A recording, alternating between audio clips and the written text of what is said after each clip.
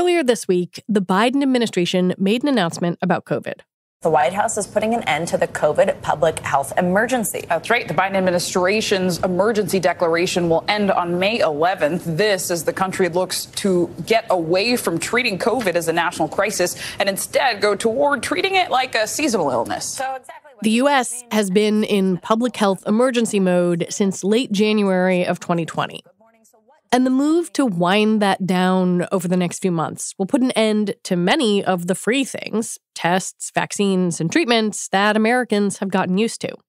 It's also a way for the administration to get ahead of two GOP bills that would end the emergency declaration right away and provide an orderly off ramp for hospitals and healthcare systems. Without question, the country has vastly more tools to fight COVID than it used to. And more than half of us, according to one recent survey, have already had the virus. Which raises the question of what, if anything, COVID is leaving behind in our bodies. That's why I wanted to talk to Tim Requarth. Tim's a science journalist, and he recently wrote a story for Slate titled, What is COVID actually doing to our immune systems? In part because people in his life wanted to know. There's been some stuff circulating on various social media platforms about how it's potentially destroying, quote unquote, humanity's um, immune systems. And that was a very compelling concern for people because it could come from potentially even mild infections. And so they were like, hey, what's the deal? What's really going on here? And that's what spurred the spurred the interest for me. So today on the show, is COVID changing our defenses against other illnesses? I'm Lizzie O'Leary, and you're listening to What Next TBD, a show about technology, power, and how the future will be determined. Stick around.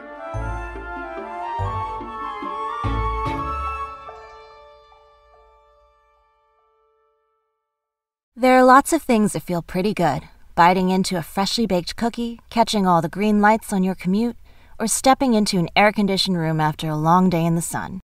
Well, you can add something else to that list. If you have a simple return, you can file for free with expert help with TurboTax Live Assisted Basic. Get live help from tax experts who will answer your questions if you get stuck and help you better understand your taxes. They will even review your return before you file to get you the best tax outcome. And if you qualify, it's all free until March 31st.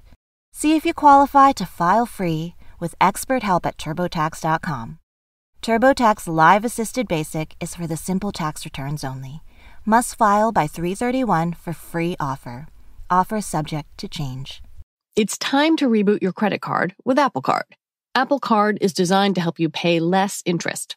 Unlike other cards, it estimates how much interest you'll owe and suggests moves to help you pay off your balance faster.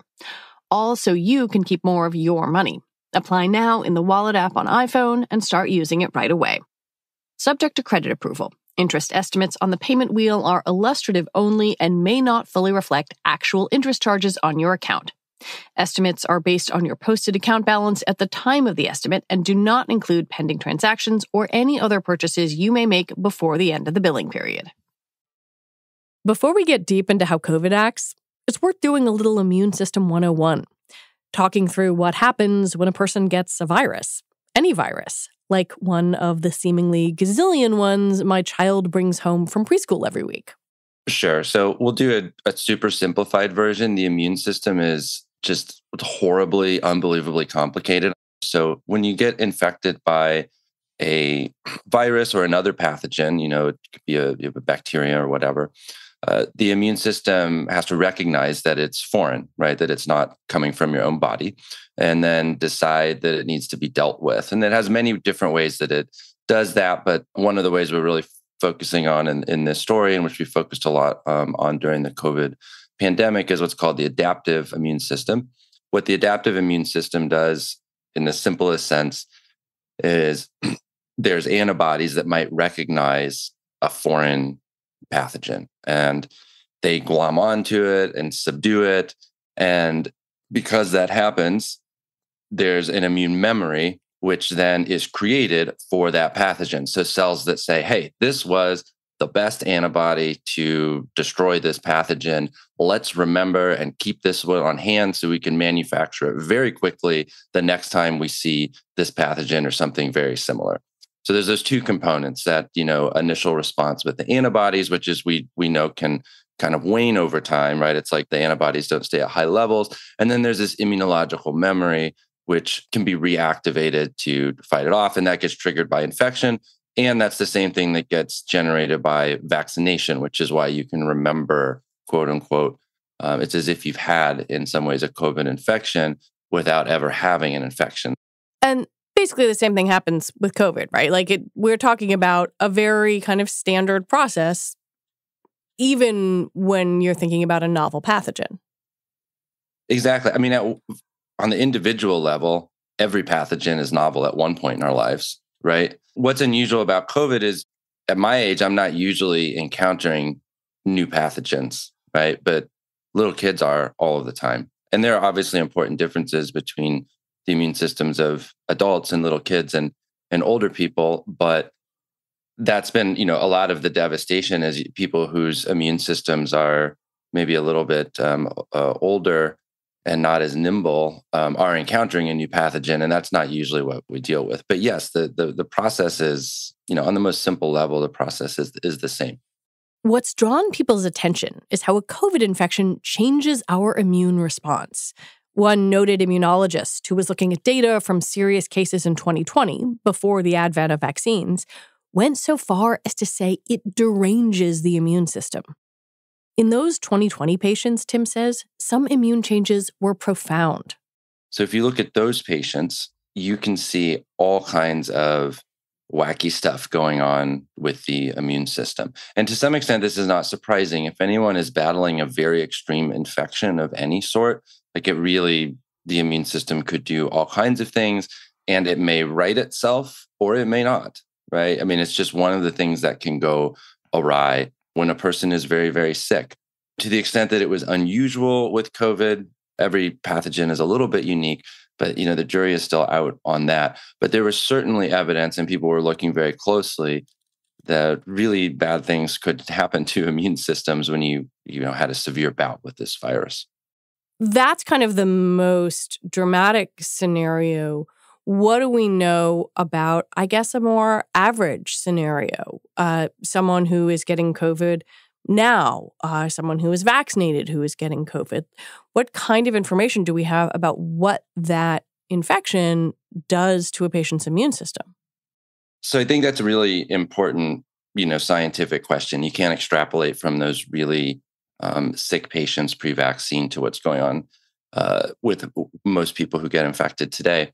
There's kind of two basic ways that you can look at this. One is how well does our immune system respond to subsequent infections with COVID itself, right? So if you get infected once and you get infected again, do you have a good immune response?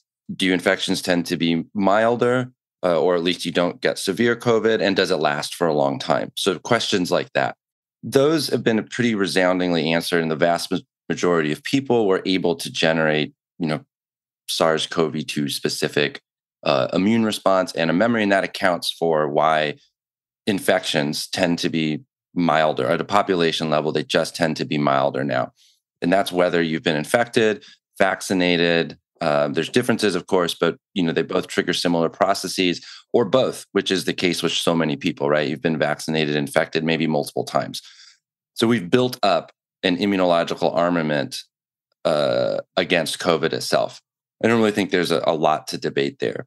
Where it gets a little screwier is what if there's something else going on that's a bit different, where our bodies are trained just fine to fight COVID, but because the infection is doing something weird to our immune system that causes other effects. So we're able to keep ourselves out of the ICU when it comes to COVID, but now we just tend to get other pathogens more more often or we are at a risk of developing an autoimmune disorder like arthritis or Crohn's disease. Is COVID tinkering with the immune system in a way that we get all of these unexpected effects, even if we're just fine when it comes to COVID? So I think that's the that's I think the big question and what was driving um, a lot of this information that people were getting on social media and, and, and occasionally in the news. There have been a number of theories about the places where COVID and our immune systems intersect on both the individual and community levels. If you think about that surge in respiratory viruses this fall, it led to the coining of the term immunity debt.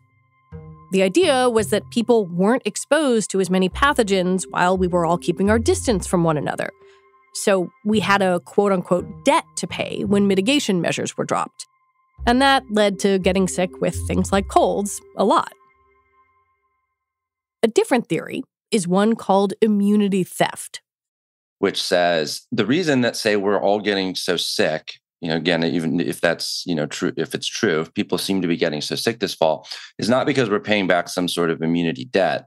It's because COVID has collectively weakened, I'm going to use that in a colloquial sense, but has weakened our collective immunity such that we are now more susceptible to other pathogens. And so, in this sense, maybe this fall isn't an aberration, just some debt we have to pay back on a one time basis, but the new normal for a hmm. society hmm. that is weakened immunologically.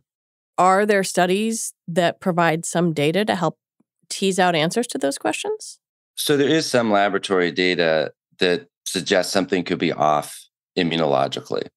There's several studies. This is kind of how they work. And again, I, I, I really hate to drag people through the methodological weeds, but it's it's really important to understand what these studies are.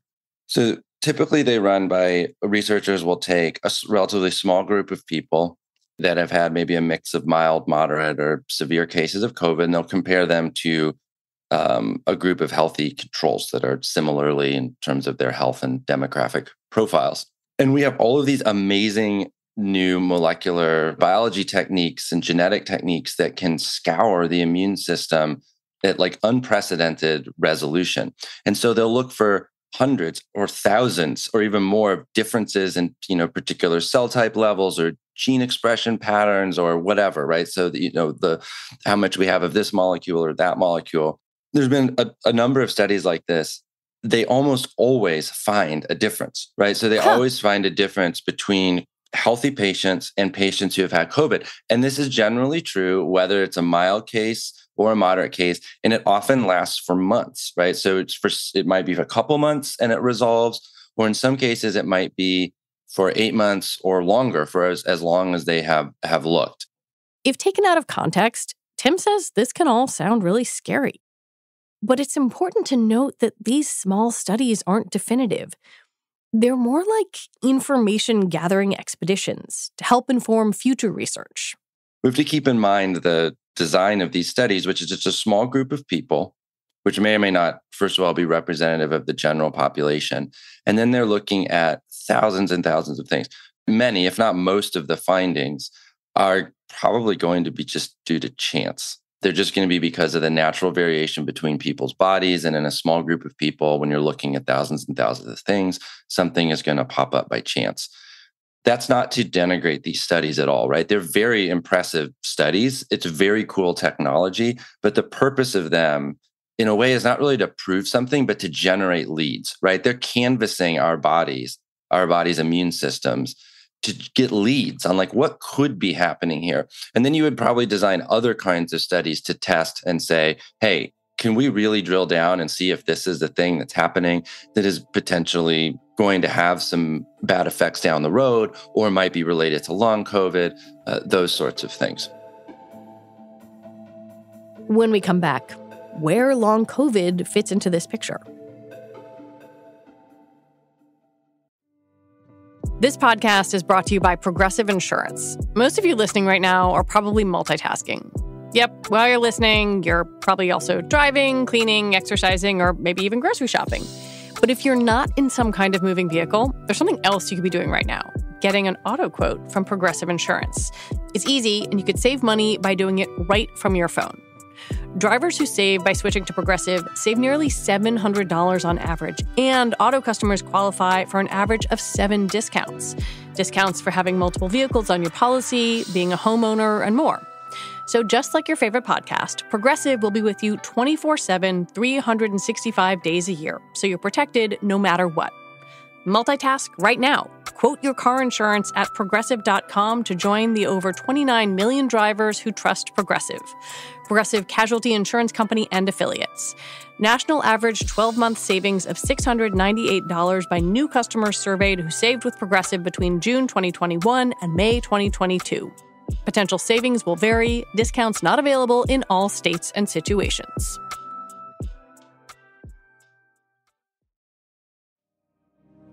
This message is brought to you by Discover. Did you know you could reduce the number of unwanted calls and emails with online privacy protection? The latest innovation from Discover.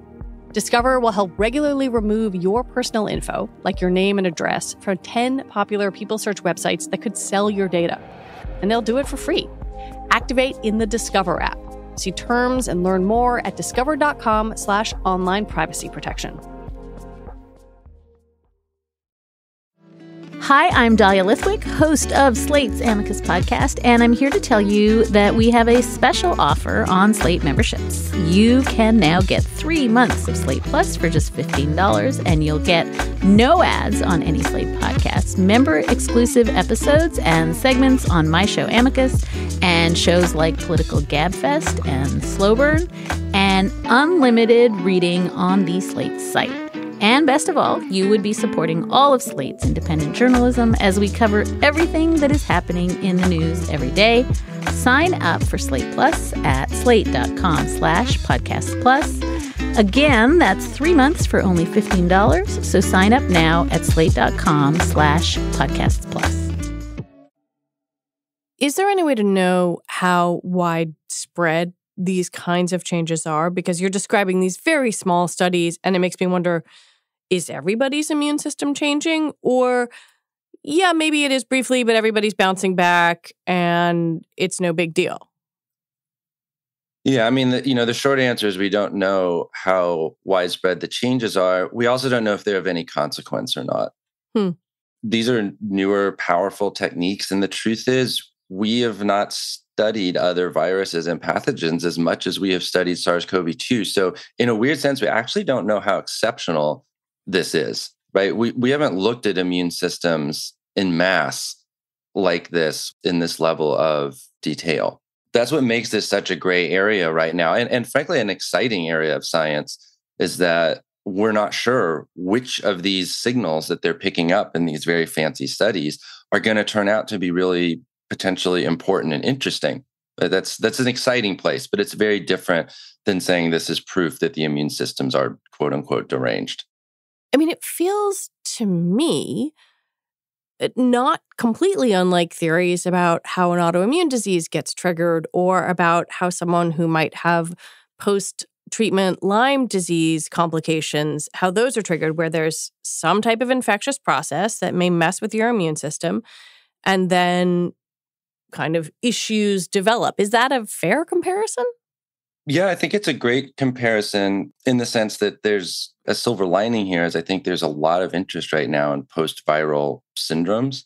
They've been historically dismissed in the clinic um, and, you know, maybe not been a priority of scientific research funding. I think the Epstein Barr virus has been linked now to multiple sclerosis. And so I think there's an appreciation for the longer term impacts that viruses and other infections can have on the immune system and, and our bodies right? And so if, if that tends to be a general rule which we don't know oh, you know sars-cov-2 doing that in, in some proportion of the population or triggering something that people were already susceptible for uh, that's going to be very valuable information. Um, so i think it's a, it's a real research opportunity to learn about this which would translate into a public health opportunity to manage and treat it.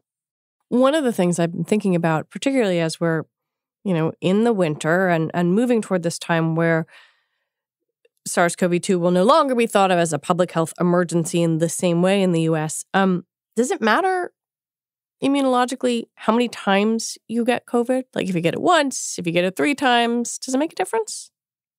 I wish I could answer that question, um, you know, directly. This is a it's a very heated debate. I think it's fair to say that you know if you cannot get infected with something, it's probably good, right? Like it's you know getting infected four times is probably marginally worse than getting infected three times, et cetera, et cetera. the data that shows that or hints at that uh, is problematic at this point. It's not conclusive, and there's not been a lot done into how much variation there is. So, for example, let's say that is it true that for some people, the more they get infected, they're going to get worse, very much worse each time. But for most people, they're going to be fine. So, at a population level, you see that really what's causing this apparent effect of multiple infections being bad is a small subset of people who are susceptible to multiple infections. It is very bad for them, and they're driving the population level effect. The sort of a jargony way of saying is like, is this true for everybody? Right. Or is it is it just true for some people? And I don't want to dismiss, you know, those, you know, whoever that that may be, but we there's a lot that we don't know. And the blanket statements about, you know, it's only a matter of time before everybody gets long COVID or this virus is devastating humanity's immune systems and it's a you know extinction level event there's nothing in the data that really supports extreme statements like that well that was sort of the next thing i wanted to ask you because it, it feels like there are a couple of different kinds of damage that thinking about this could do. One is the very specific damage that may or may not happen to an individual's immune system. And and then there's the other kind of damage which is that the idea that people may look at this or listen to this and say ah yes this is going to kill us all.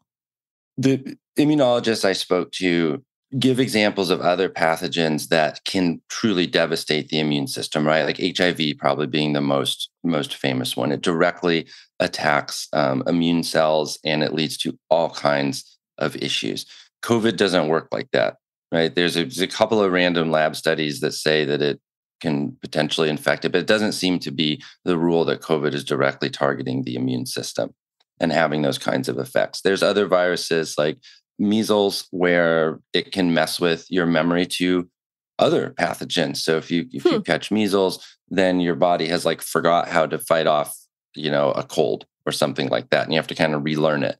So there is weird things that viruses and, and, and pathogens can do. The immunologists that I spoke to said they're really not seeing that kind of, you know, they haven't found, you know, that that sort of signature yet.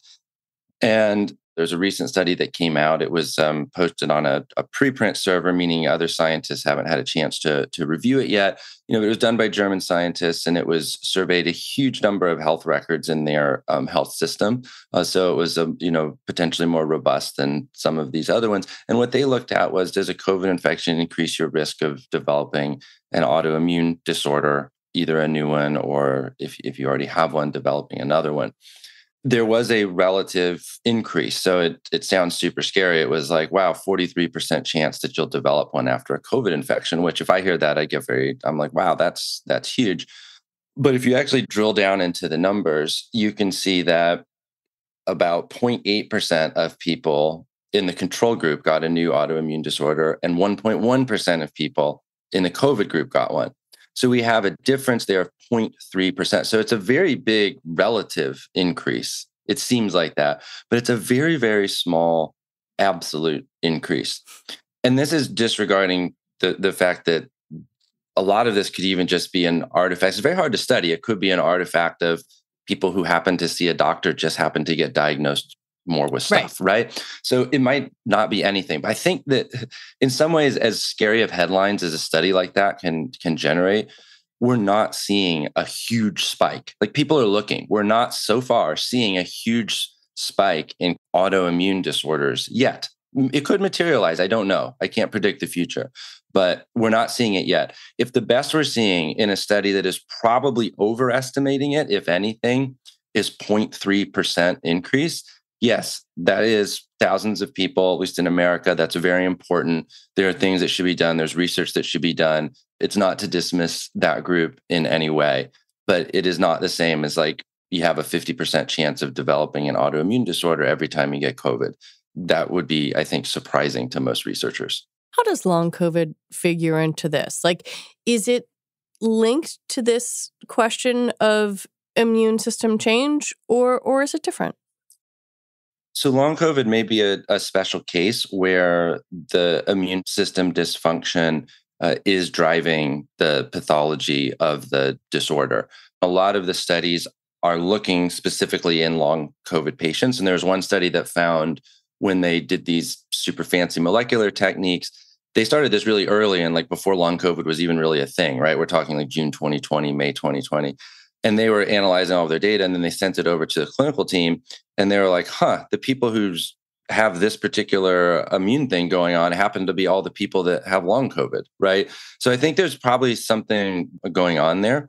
I think one unresolved question is whether there was some ongoing immune dysregulation or susceptibility in people before, and then it gets picked up after COVID or exacerbated after COVID. None of these studies have pre pandemic snapshots of the same person's immune system.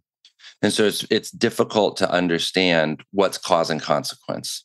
And again, not to diminish the, if someone has an immune system issue for any reason, like that's that's important but it's a, it, it has a different implications if it's like covid is causing everybody's immune systems to go out of whack versus if you have a pre-existing immune system dysfunction or susceptibility you're going to be more vulnerable to this condition. One of the reasons that i wanted to talk to you after reading your piece was that i i have spent a lot of time reading this book and thinking about it um, called the invisible kingdom by Meghan O'Rourke uh, which is all about chronic chronic disease. And one of the things she writes about is long COVID and the speed with which it has been studied and analyzed and resources have been thrown at it as opposed to something like chronic fatigue syndrome or or or post-treatment Lyme disease where it took you know patients and activists years and years and years to get that kind of critical mass of funding and interest. And i wonder if you find hope in that the the speed and interest that understanding COVID, understanding its effects on people's immune systems, and, and understanding long COVID has generated. Again, I, I, you know I wish it hadn't had to come at the expense of this much suffering, but I think yeah. it's it is a silver lining. I think that there has been a validation both at like the personal and and medical and scientific levels that post viral illnesses, which can often come with um, symptoms that are again dismissed in the clinic you know things like fatigue post-exertional malaise. Brain fog. Brain fog um, they, they they're often more prevalent in women and so it intersects with the relationship between women reporting symptoms and how it gets interpreted by the medical establishment. So i think that and there's been a huge grassroots and organizing effort around long covid probably you know piggybacking off of some of that frustration from some of these other conditions. So I think it's extraordinary. And I also think that one of the reasons that it was so hard to study before is that everything was occurring asynchronously. People were getting infections when they got infections and they developed stuff when they developed it. We have this really unusual natural experiment, so to speak, where basically everybody got an infection at the same time. It's like a, a, a tsunami or something, right? You're just going to see it anywhere you look in the ocean after that, right? It, it, whereas, the, you know, the waves of everybody getting infection just kind of get lost. And, and so I think this is a really great opportunity to study it, and it's going to be basically impossible to ignore. Tim Requarth, thank you so much for your time and, and for talking with me. Thanks so much for having me. Always a pleasure. Tim Requarth is a contributing writer at Slate and a lecturer in science and writing at NYU. And that is it for our show today. What Next TBD is produced by Evan Campbell. Our show is edited by Jonathan Fisher and Shannon Palus. Alicia Montgomery is vice president of audio for Slate. And TBD is part of the larger What Next family. TBD is also part of Future Tense, a partnership of Slate, Arizona State University, and New America. And if you like what you heard here today, I have a little request for you. Join Slate Plus. Just head on over to slate.com slash whatnextplus to sign up. We'll be back on Sunday with an episode about how America's biggest bank made a $175 million mistake. All right, I'm Lizzie O'Leary. Thanks for listening.